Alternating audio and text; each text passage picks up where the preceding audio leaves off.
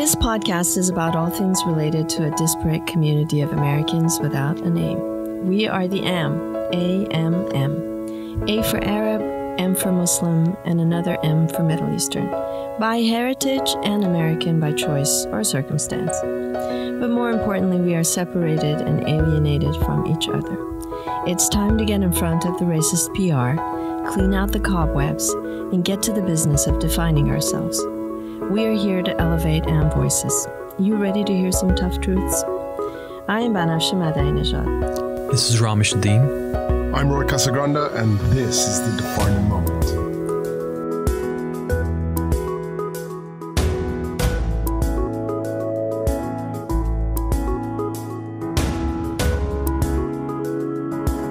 So, Dr. Casagranda, you were talking to me the other day and you mentioned that you had a new way of thinking about modernities. Yeah, I've been working on it for a few years now, so I don't know that it's it's entirely new. And I, and I wouldn't be shocked if there were other people doing research in this area, but I'm unfamiliar with it, so uh, it's probably just me reinventing the wheel, but this is this is what I have. um, and that is that it depends on how you define modernity. Let's start there. What is how how do people how do historians think about modernity? When does modernity typically start? What's the sort of classical way in which we think about modernity? Okay, so the technically modernity really just means one thing. 1492 AD until today. So um, anything that happened from the moment Columbus set sail uh, to the west to this moment is modern. And that's really it. So in other words, when people say the modern tank, they're they're being really weird since you know the, the all tanks are modern because the, the tank came into combat in 1916 and so 104 years later the, that tank was modern and this one is too because the last 528 years have been modernity um, what what people mean when they say that is of course contemporary so it's so you know it's it's the classical problem that we have in the English language, and that is that everybody thinks that these different words mean the same thing when in fact they all have very different meanings. And the the reason that that's wonderful is it allows us to speak accurately and even in some cases become quite precise with our language. But uh, but people are sloppy, and you know we conflate terms like republic and democracy, and we conflate terms like a hypothesis and theory, and uh, it makes conversations awkward. This is why we need academics to come butt in and say, well, no, not actually. right. Or we could just spend some time reading dictionaries, which uh, might sound boring, but I think mastery of the language is actually really powerful. The connotation, not the denotation, but the connotation of modernity is you know the electric light bulb and, and digital computers and we think of it as a contemporary thing. Um, and so if you define modernity that way then then then then you get into a little bit of trouble because we've always had technology. Um, beavers have technology. Otters have technology. Chimpanzees have technology. It's not even a human thing right? The fact that uh, sea otters will take a, their favorite rock and they'll hook it in their armpit, and they'll swim around with their favorite rock in their armpit, right? They they they've they've got so much skill that not only are they using a tool, they have a favorite tool. Oh wow. And there's also cultural aspects to this. They will sort of intergenerationally teach tools too. I don't know if sea otters in particular do this, but other animals do this again and again. Yeah. yeah. Yeah. So so so the question is in technology, clearly there's something nuanced about the technology. And the thing that kind of struck me as the most likely way to go in trying to define the, the connotative sense of modernity was the availability of convenience. Hmm. What is um, convenience? If you were to think of a society that didn't have a lot of convenience, you you are or your household is pretty much responsible for everything. So cooking and cleaning, for example. Um, and then one way that we have in a society that didn't have an abundance of convenience, one way that you get around that lack of convenience is you have servants, because then the servants do the stuff you didn't want to do. So another way to think of it is um, the difference between work and labor. So if you, if you define labor as the amount of time and energy you spend to survive, and then work is whatever is left over. Um, so you know, if I if I work, um, if I have a job that pays uh, ten dollars an hour, so it's about twenty thousand dollars a year, and uh, you know after taxes, you sales taxes, all the taxes, what are you left with? Maybe sixteen thousand. If it takes me fifteen thousand nine hundred dollars a year to survive by the time I pay rent and, and eat, then my my work is a hundred bucks and my my labor was fifteen thousand nine hundred dollars. Whereas if I'm making a hundred and it took that sixteen thousand dollars to survive, then then I have hundred and thirty four thousand dollars worth of work on top of my twenty thousand dollars or nineteen thousand dollars worth of labor. Do do So- servants have to become sufficiently expensive before we start to you know evolve and search for technologies that'll make uh, convenience happen? So uh, it, that that's that's always a question with with uh, technology. Is it is it coming from necessity or is it coming from creativity? Like, did, did did we get this tech because we had to develop this tech, or because we got developed this tech now we can develop other tech, and we just did it because we could? And you know, it's circular. Um I'm sure there's a little bit of a feedback loop. There used to be in social science one law, and that social science law is destroyed. It doesn't function anymore. Uh, it probably went away about 40 years ago. But the law was as technology increases, population increases. And so the great question was is the is the technology increasing because the population is increasing and that's how we're keeping up or is it that the because the technology is increasing our food production is increasing and that and that's why we have the extra population the answer is yes yes because obviously they're in a feedback loop and they're doing this together. Um, I I have no doubt that some tech is just the product of a whim, right? And then some tech is uh, something that we really kind of needed to develop for survival purposes. um, in the case of convenience, we don't need it for survival purposes. I think the answer is that once you have a certain amount of convenience, it's cheaper to jettison your servant and and just pay for the convenience rather than have the servant. So it's not so much that the servant it's not necessarily that the servant became too expensive, it's that you realized, oh, it's just cheaper. I don't need this person to live with me anymore. It's too expensive. Cuz uh, what are you paying to have a live-in nanny per year? It can't be cheap. I, I have no idea because I'm not in that income bracket.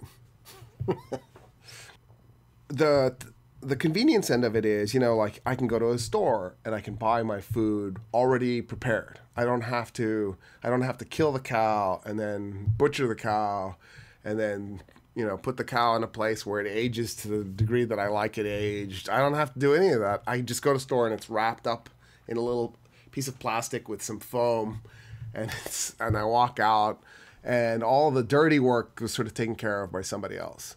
Uh, when you think about it, so human beings were gather and hunters. Uh, if you do Homo sapiens sapiens, so we're not worried about um, Heidelbergensis. We're not worried about anything before Homo erectus. We're just talking Homo sapiens sapiens. Um, we were we were gatherers and hunters for almost 450,000 years before we switched be, switched over to agriculture and when we did we did it kicking and screaming because agriculture is a, a crazy amount of work whereas gathering and hunting was something that you could do with a minimal amount of labor um, our grocery stores are basically gathering centers. We we we we have through technology recreated gathering. You go into the grocery store with a cart and you gather your food. And you put it in the cart. It's we're we're right back to ground zero. This is You've got the basket, if- you've got the goods. exactly. It's almost as if after 12,000 years of agriculture we finally got to the point where we could get back to what we wanted to really do which was gather Which was a lot more Um, and fun I- too, right? There, there's much less labor that you're doing on a day-to-day basis, much more space for yeah. socializing and culture and all of this beautiful stuff. it's a lot less stressful too because in a in an agricultural society not only do you have to plow the field cultivate the field and then harvest the field and then store the food. But you also have to keep Bambi and Thumper away because they keep trying to eat your stuff. And then your neighbors, your neighbors keep sneaking over and ripping up your carrots and your onions, and so you're chasing them away. And the next thing you know, you've invented warfare, and there's diseases that are rampant. It's a mess. Nobody wants to do it. All of a sudden, property matters, inheritances matter. All of this crazy stuff comes in. We have to plan for the future. We have to wait a year before we can actually eat this stuff. Yeah. And then what if there's a drought or a flood? I can't just pick up and move and go somewhere else where there's an abundant food supply. I'm I'm stuck in that spot. Yeah. Agriculture was a disaster, train wreck. okay, so back to the convenience thing. So if we define modernity as having an abundance of convenience, which obviously our society does today, um, because you know even if you live in a poor third world country you've got cell phones. Everybody has cell phones now. I mean the fact that i can i can talk to anybody on the planet instantaneously uh, and for almost nothing. By the time i figure out my monthly phone bill it's the cost is pretty minimal. Um, so so the level of convenience today is is extraordinarily high. So and I don't know how to do the math on this. So like I don't know what you would do to make it so that you could say, okay, we've we've reached a point where our convenience is so high, this is a modern society. But I have examined three past societies that had enormously high levels of convenience. Ooh. Which means then, if you define it that way, this is the fourth modernity. At least there, there's obviously the potential that there's more, but this is the fourth modernity by that standard, at least. Wait, so so what are the three? Where do we have to go in history to find modernity? Why can't I feel so special that we have reached, you know, some pinnacle of civilization and are here for the first time? Yeah. Uh, everybody wants to be special. we are. We've never had electric light and digital computers before, but pretty much everything else. Oh, internal combustion engines. We didn't do that before either. Or or jets or nuclear bombs. Okay, yeah, you can feel special. Nuclear bombs. Like surely that makes you spe- That's special. true. Su- nuclear submarines with nuclear missiles on them. All right, so ancient Egypt. That's the the first. It has to start there, doesn't it, with you? It has to start there. It just has to. There's no other place to start. Um, so in ancient Egypt, um, it's the 18th dynasty. So in other words, it took a while to get there. What? Why is ancient Egypt so special compared to these other? There were there were other agricultural societies, right, that were going on at the time. Why is ancient Egypt so special? So I, I don't know how to how to how to figure that out. Like I don't know how much of it was just the culture, how much of it was just random dumb luck, how much of it was the environment, how much of it was the geography. Like in the case of the United States, uh, we're, we're so extraordinarily powerful and wealthy because of geography. It's obviously not the individuals, right? There's name an American genius. We just import them all from around the world. But even then, I mean, yeah, right. Like uh, the Manhattan Project, they were a bunch of Jewish Germans and, a, and an Italian, right?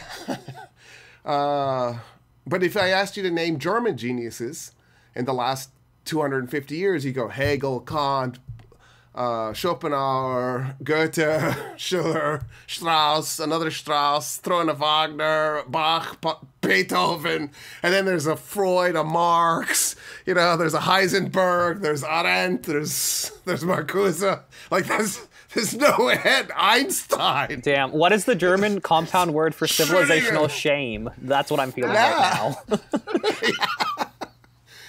And then you know, like if you try to go elsewhere, you know, Srinivasa Ramanujan from India, and then you got Hawking from England, and then I, I think you could make an argument for for Foucault from France, but there, there isn't a lot, and and but I got nothing here.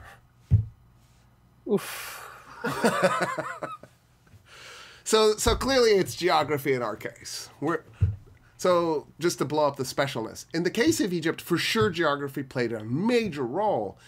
It, the fact that there's desert on three sides and then a, and then the Mediterranean Sea on one side made it so that the place was difficult to invade. Um, and that created enormous stability. In addition to the regular flooding, too, right? And then the flooding makes the, the soil extremely fertile. Egyptians could get three harvests a year. And, you know, per, per acre, no place on earth could produce the kind of food Egypt could produce. Uh, by the time the Roman Empire had incorporated Egypt into the empire, uh, Egypt accounted for like 60% of the total calories produced in the entire empire. Oh, that's incredible. Yeah, if it wasn't for Egypt, the Romans would have never been able to field the massive legions that they could. Even before Egypt was conquered, uh, Rome had had gotten a really good grain trading deals with Egypt, and that's how the republic became so big was because of Egyptian grain. And then Egypt is in the center of the world. Uh, if you wanted to trade and you had goods in Europe and you wanted to send them to India or China, you went through Egypt. And so Egypt prospered because of the, the trade. But even if you had the geography and even if you had the resources and even if you had the trade, uh, Egypt also had reeds so they could make papyrus and you know lots of things were going their direction. It wouldn't be enough if you didn't have the culture to make it happen. So, in other words, it's Machiavelli, right? Uh, without fortuna, all the talent in the world is useless, and without talent, all the fortuna in the world is useless. You need, you need, you need to have both. Or then there's the United States, which is just raw fortuna. I mean, I can, I can prove it to you. Our response to the pandemic that we're currently going through, it is so beyond incompetent. I, we, I mean, it's it's literally the worst imaginable outcome if this was a really devastating pandemic, you know, we're we're this it looks like this pandemic has got a two to two and a half percent mortality rate. If this was something more like a five or ten percent mortality rate, oh my god, we would have been hosed. That's at this point, it's just luck that we're doing as well as we are. So I don't have an answer answer for you, but obviously, geography played a major role so what happened was when Egypt unified, right about 5,100 years ago, Pharaoh Narmer uh, put Upper and Lower Egypt together. He triggered a thing that we uh, we eventually will call the Old Kingdom. Technically, the first four dynasties, uh, the first two dynasties aren't considered part of the Old Kingdom, but it's just simpler to lump them in there. Um, and and the Old Kingdom is the big pyramid building event. So so Egypt started off with pyramids, really big, massive man, human-made mountains. Just so it wasn't ancient aliens.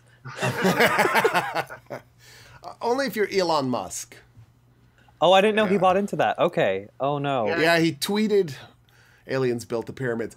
It's okay. He's a white South African. It's totally cool for him to be racist towards indigenous Africans. Makes Just, the apartheid I mean, money feel a little better. Yeah, yeah. I mean, what else did you expect? Talk about walking into a field of exposing your own racism.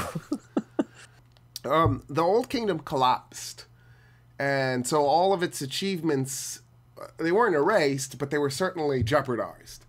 And what ended up happening is a period called the First Intermediate Period, uh, and that lasted about a century and a half it was a really long period of time. And the way to think of it is it's just a long civil war.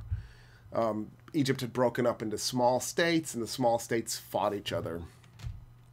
And then Egypt recovered, and it created the Middle Kingdom. And the Middle Kingdom prospered. It, it, it got things going again. Everything was looking all right. And then they got invaded. Oh. and and the. In terms of time, where are we right now in the Middle Kingdom? so the Middle Kingdom is around 2000 BC, so about 4,000 years ago. And the people who invaded them uh, were the Hyksos, and they had horses. And that's that was the problem. The Egyptians didn't have the horse, the um, and so they just simply could, couldn't stand up to an army with horses. They the Hyksos ruled Egypt. They were rather unstable Eventually, the Hyksos lost control to the native Egyptian population, and there, there were uh, the second intermediate period. And the second intermediate period also has a lot of civil war aspects to it. And then there's a guy named Ahmose, and uh, he uh, reunifies Egypt uh, under Egyptian rule and creates the 18th dynasty. And that's called the New Kingdom. That's the start of the New Kingdom. The 18th dynasty is just such a strange moment in history because it it its prosperity and its development and its success is unprecedented. No place on the planet had experienced anything like what they experienced. And but to make things more interesting, our arch- the archaeological wealth they left behind is so amazing that we have details. So there was a village west of the city of Luxor, west of on the western side of the Nile. Deir el Medinet is what it, what it's called today, and uh, that village was a village of artisans. They were tomb makers, and they left behind such a massive archaeological footprint that they lived there for 400 years. That village was inhabited for 400 years. That we know more about the people living in that village than we do about people living in uh, any random given town uh, in the United States 150 years ago. Oh my goodness! Oh wow! Yeah, uh, it's we, we know who lived where. We know their names. We know when they went to military service. We know what they ate because we have their grocery lists. We we we know what their laundry was because we have their laundry lists. So this is we have the. They they had grocery what? stores and laundromats then, or some equivalent. Yes, that's incredible and and they wrote letters to each other and they they wrote love poetry and we have it all. It's it's insane. And the reason we have it all is because they were tomb makers. When they would big they would cut the tomb into the limestone. The the extra rock they would use it to practice on. But then they had so much extra rock, they were also using it to write their grocery list, and they were using it to. And then when they were done with whatever thing, they just threw it in this pit and this garbage pit then became a gigantic record of the day to day life of the people living in that village because it was rock instead of paper. Because, right, Egyptians had invented paper, they were papyrus, right? And they had been using paper, but paper decays. But because this village was so weird in the sense that they had all this rock they didn't know what to do with, they ended up making it so that we could we could have this in really detailed, intimate record of their day to day life. And so the you're you're aiming at it. They had laundromats and they had grocery stores. There's the convenience. That's incredible. That's astonishing. Oh.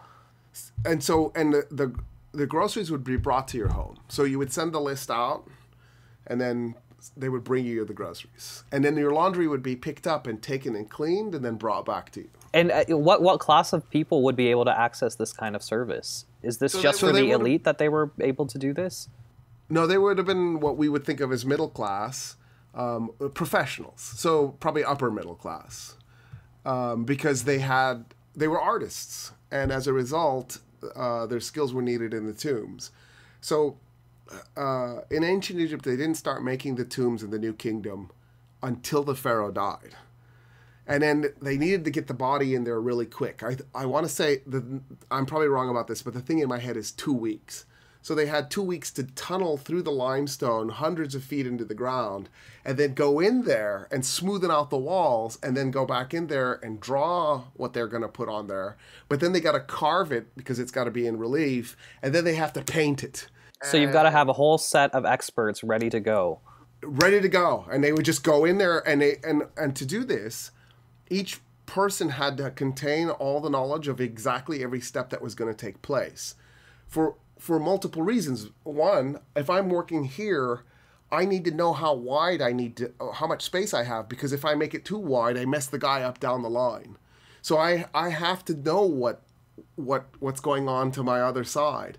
And then what if somebody's sick and i need to replace them right? What if somebody gets injured and they need to be replaced? In other words, these mar- these artisans had to work as a community. They had to work fast, and they had to have incredible skills. So they would, so as a result, they were paid by the state. Uh, what we would think of today as really high wages, but here's the here's the twist: there was no money. What? They didn't have coins. What? Yeah, we think the oldest coin on Earth is about 650 BC. So somewhere between 625 and 650 BC. That's so recent. And, and I'm talking about 1550 BC. So it's about 900 years before the first coin. how do you how do you coordinate such complex high level activity at these levels without money? What, what do you do? Mm. This is how much capitalism has infected our brains. We can't even comprehend how you could operate a high a high tech society because they were totally high tech. They they were building human made mountains that were precise. I don't mean accurate. I mean they were precise. The, the the the pyramids on the Giza plateau are perfect compasses. Actually, they're they're off by a tiny amount, but we now know that it's not because they were built that way. It's because the Earth has has shifted. Damn. And we now we actually use the the Khufu pyramid to measure how much the Earth has shifted over the last four thousand six hundred years. Um, the, the the ancient Egyptians were taking such precise measurements of stars that they noticed the regularity of the Al Al uh, Al Ghul pulsar. It blinks on a, like a two point eight six day increment or something like that. Well, astronomers today have they they have a mathematical equation about this pulsar and how frequently it should be blinking, and um, it should I, I don't remember if it's supposed to be increasing over time the interval or decreasing whichever way it was it would have been really great if they had some data from several thousand years ago so they could and of course they do the egyptians had it so they went and looked at the data that the egyptians had and it it matches their model perfectly oh my goodness. so the Egyptians were taking extremely accurate, basically, it, measurements of this thing. And by the way, they integrated it into their calendar, and it became part of their religion. They they, they thought Al Ghul was a really amazing uh, phenomenon. It, it blinks. It's a blinking star. That it's not like a twinkling star. It's a blinking star. It goes bing.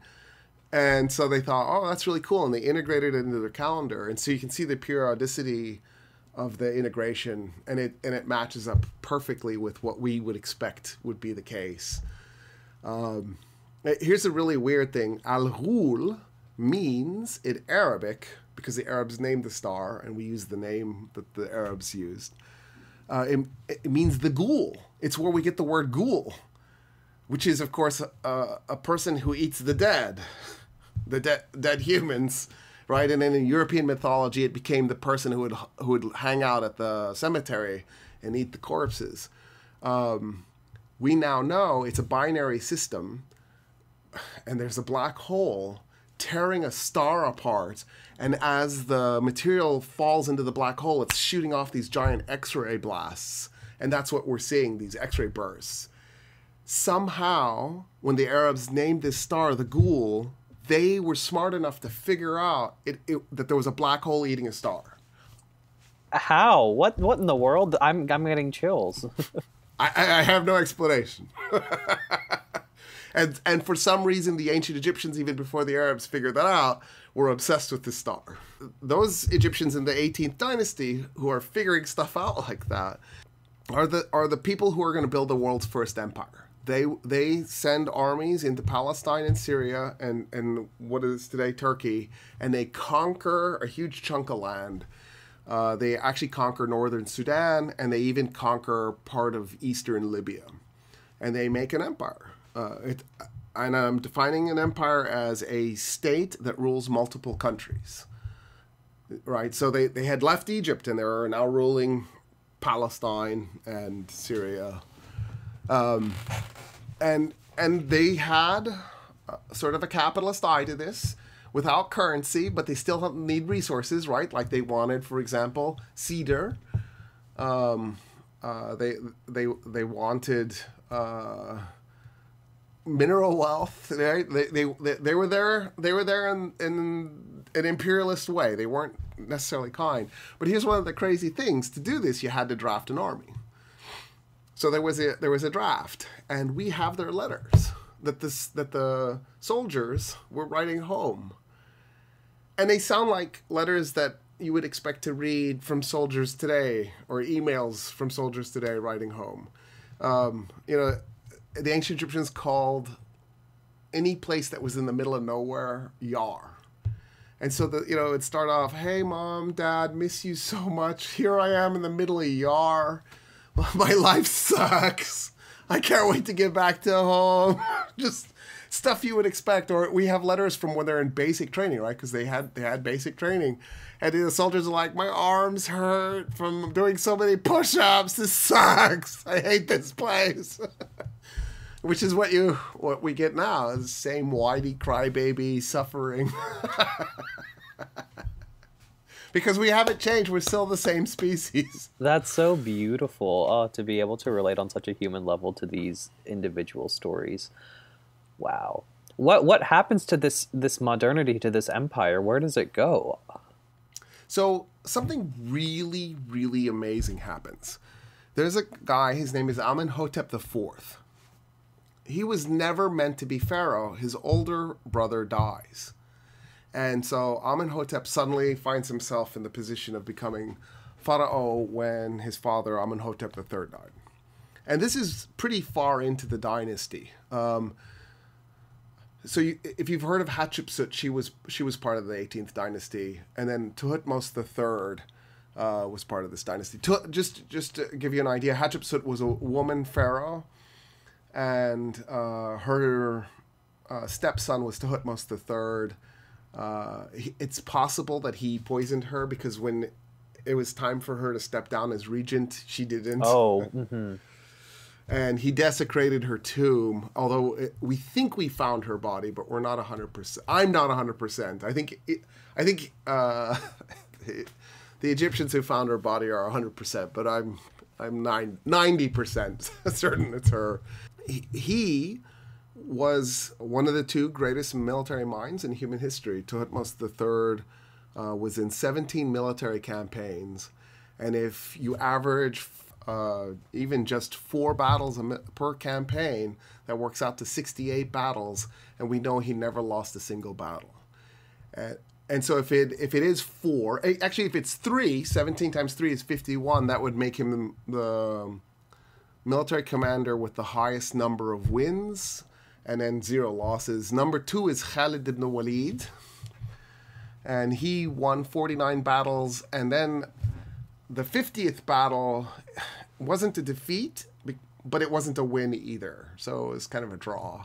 Uh, he, he had 3,000 men and he fought 200,000 men, and he got his men out. Oh. I kind of think he gets the win, but technically on the field he didn't yeah. win. It was his first battle. What? yeah, oh. And I think that was it. I think everybody realized, okay, this guy is a genius. Yeah, keep him he, up. He needs to just always be in charge. I don't know how we lived through that. That's incredible. And it was against the Romans. The, the, he wasn't even meant to be in command. The commander stepped down and said, you want to take command? We're going to die anyway." He's like, "Yeah, I'll do it," and he got them out. Um, so Thutmose III he's the guy who really expands the empire. Hatshepsut really kicks it off. She she by the way was sending trade expeditions. Uh, she discovered new countries that they didn't never heard of before. She really got she was she was a big thinker. Um, Thutmose III took the empire one step further. Then the empire went into a period of there was so much prosperity, and they were doing so well that I think I think what happens when a society gets like that is you you kind of you lay back on your laurels. You're feeling good about things, and and you don't strive like you did before. But then we get to, to Amenhotep IV. Um, Amenhotep IV decided that he didn't like the pantheon. Oh. So you know the major god in the in the 18th dynasty was Amun and Amun was the god of Luxor. So and Luxor was the capital, and so uh, he'd become Amun had become the sort of the chief god in the in the pantheon. Even though Ra was obviously at, at some level extraordinarily powerful too, so they merged him and they made Amun Ra, and they were like, problem solved. He's both. Is this cool? Um, and and Amenhotep IV decides the pantheon doesn't make any sense. Isis and Osiris and all these gods, and he throws them out. He says they, they they're done. It's unclear. Do they never exist? Did they did he delete them? But he throws them out, and he says there is only one God. Huh. There are no other gods, and that God I- Is this the first time we see a, a monotheism? Yes. Ah. This is the first ev- evidence of a monotheistic religion. It was about 3,500 years ago. Ah, And he said there is a God. His name is Aton, A T O N. Uh, Sometimes it's spelled A T E N. The reason why we don't know is because the, in ancient Egyptian they left the vowels out. So we're stuck looking at Coptic to try to figure out what we think the vowels might have been. But it's always a guess. Um, and G- Aton was the god of the sun and love. huh. And so if you worship the sun and love, y- you're set. And so basically Egypt had had adopted this hippie religion and collapses. now it doesn't collapse as hard as it did at the end of the Old Kingdom. By the way, one of the reasons it collapsed so hard at the end of the Old Kingdom is leadership. Um, the pharaoh at the end, his name was Pepi II, but just with the name Pepi, you know you're in trouble. And actually, Pepi might not have been the pronunciation again because we don't know what the vowels are. I actually think there's a high probability his name was Pepe. Pepe the second, but but we'll go with Pepe. Poor bastard! Like, what was his parents thinking? You can't go anywhere from there with a name like that. No. Yeah, yeah, and he was pharaoh for about a hundred years. Mm, Oh. Yeah, we. Th- I think we think he died around 106, and he became pharaoh as a child, and that is the longest any monarch has ever ruled in human history. And he was an incompetent moron, and the state just crumbled around him. And the instant he died, everything just fell apart. He destroyed the deep state and lived lived way too long, and that was the end of that. Um, in the case of the end of the Middle Kingdom, right, it was an invasion. That's what dropped them. This collapse that happens in in the in the at the end of the 18th dynasty isn't catastrophic. It's it's just the the government falls, not even the state. The state's still intact, but the government falls. And the reason is is because the Egyptian people aren't ready for this change in religion. Wait, Dr. Professor Roy Casagrande, what is the difference between a government and a state? Ah, okay. So the state is the institutions, so the bureaucracy, the laws, the courts, the military. That's that's the state. All the acronyms and agencies. Exactly, exactly. The government is the the group that are ruling at that moment. So it, so the government is the individuals, the the state is the the institution that the individuals are operating out of. And usually there's a dominant in any given state, there is a dominant set of interests that rule. Um, and so in monarchies, we see this as a dynasty. In in democracies or in like us, an electoral republic, uh, what will usually happen is there's one particular ideology that'll rule for a few decades, and then that ideology falls out of favor and it gets replaced by another ideology, and it rules for a few decades, and it gets replaced. It is, and so in the case of the 18th dynasty, the 18th dynasty crumbles. It, and it, it doesn't happen all at once. It kind of falls apart. Um, Amenhotep, by the way, changed his name. Amenhotep IV changed his name to Akhenaton. And uh, his wife was Nefertiti, the famous Nefertiti. And when he dies, there is a, a scramble, and uh, he had four daughters, and uh, what ends up happening is we think either Nefertiti or one of his daughters then became pharaoh, um, and then possibly even one of his son-in-laws became pharaoh. Um, by the way, one of the, the the one where we don't know if it's Nefertiti or a daughter, that pharaoh is named Nefer Neferuaten. Like, why? Why would you name your child Nefer Neferuaten? So the like that's just terrible. It's wrong. Wasn't one Nefer enough? Nefer, why, why two Nefers? um, in any case, all that falls apart. Then uh, Tutankhamun, uh, that everybody calls King Tut, becomes pharaoh. He was married to one of uh, Akhenaton's daughters, and then uh, Tutankhamun, of course, dies. We now think he died of a combat-related injury. Uh, he, we think he fell off a chariot and smashed his leg to pieces. And this is going to blow people's minds, but uh, the femur, breaking the femur, is a, a mortal injury. It'll kill you. Yeah, and so we think what happened was he smashed his femur to pieces, and that's what killed him. Um, he gets replaced by a general named Ai, uh, who marries his his widow, and then that guy gets replaced by another general named Horemheb. And Horemheb never had uh, children, so he doesn't have anybody to pass pass on the dynasty. But his steward was named Roy, and I've been to Roy's tomb, Ah. and I have to say, it's like one of my favorite things ever. Walking into Roy's tomb. Oh my goodness, that's Uh, so creepy. It was so awesome. It was so awesome. Um, and then uh, when he dies, another general takes over, and his name is Ramses. And that starts the Ramses dynasty. He's not the famous Ramses. He's the famous Ramses' great grandfather, I think. The famous Ramses is Ramses II. The reason I'm saying all of this is because of this. Nobody really knows why the 18th dynasty fell apart. The, the obvious explanation is that Akhenaton's changes to the religion harmed the state. But what if there was something that harmed the state that made it so that the religion got changed? In other words, what if the effect is actually the cause and the, not the other way around? And, and here's my hypothesis the bubonic plague. Now, here's why I want this to be. Here's why this is my hypothesis. The 19th dynasty and the 20th dynasty are crap. They never achieve anything that the 18th dynasty did. And the New Kingdom collapses at the end of the 20th dynasty. The, the New Kingdom lasts 400 years.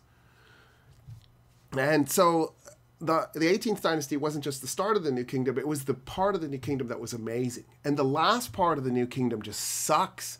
And don't get me wrong, Ramses II builds monuments everywhere, but that's really kind of all he's doing. He's building monuments all over the place, but there's no real achievements. There's no technological leap forward. I- Here, here's probably the most important thing the Egyptians did was tampons oh, they they invented the tampon and in the process liberated women right? I mean think about it. The romans did wool. They did a wool pad. And and so women were basically confined to their house one out of every four weeks because they couldn't go out into public with a wool pad. You might as well not wear anything at that point. And whereas with tampons you're good to go. you're good to go. And this these types of earthquake kind of innovations that the Egyptians were doing liberated their people. But then the 20th, the 19th and 20th dynasties don't have that kind of powerful liberation. We now think there's in 2004 a group of researchers think the bubonic plague may have actually started in Egypt right around the end of the 18th dynasty or maybe the 19th into the 19th dynasty and that might explain Egypt's unraveling. Interesting. Would we? wh- wh- Why wouldn't this be reflected in any kind of record somewhere? There's a new disease about some symptoms or something like this. That's that's the problem with this. The Egyptians were so meticulous; they wrote everything down that you would think if there was a bubonic plague, there'd be writing all over the place. So I, uh, that's it's a hypothesis as far as it goes. I really don't have another explanation though, because why would the culture suddenly unravel? And it and it never really fully recovers. Um, Egypt has 32 dynasties. If you look this up, some some places will say 30, some places will say 31. It's 32. When when when they say 30 or 31, they're not counting the Ptolemaic dynasty at the end. Um, the the argument is is they're Greeks and therefore shouldn't be counted, but uh, we count the Assyrian dynasty and we count the Persian dynasty and we count the Hyksos dynasties. They're not Egyptians. We, we count the Cushitic, the Cush dynasty. They're not Egyptians. Why wouldn't we count the Greek one? Oh, I know. It's because the Persians were brown and the Kush were black, but the Greeks were white. But by the way, you look at Greeks a little more carefully. They're they're off white. Uh, like if you grabbed a random Greek and stuck them to a random next to a random Persian, I wouldn't be able to tell them apart. People need to work on their racism Yeah. skills. Well, They're, lame. We just have to pretend the Greeks were just like us, walking around just like us, and then those those marble statues, right? Yeah, those marble statues, which, by the way, were painted once, and the skin tones on those painting statues were a lot darker than you think.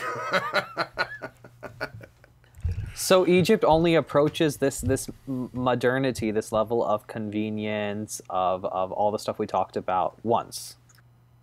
Well, no, it actually does it again. Ah, damn. So of your three examples of a, of a pre-modern modernity, two are Egypt. I didn't know I was getting into this. I thought I signed up for one Egypt at most. I should have known. I should. I guess I should be. I should be grateful. All three aren't Egypt. I should be grateful you're not claiming modern modernity as Egyptian too, which I'm sure you will. I'm trying, I'm trying. But how about if I told you the third one included Egypt?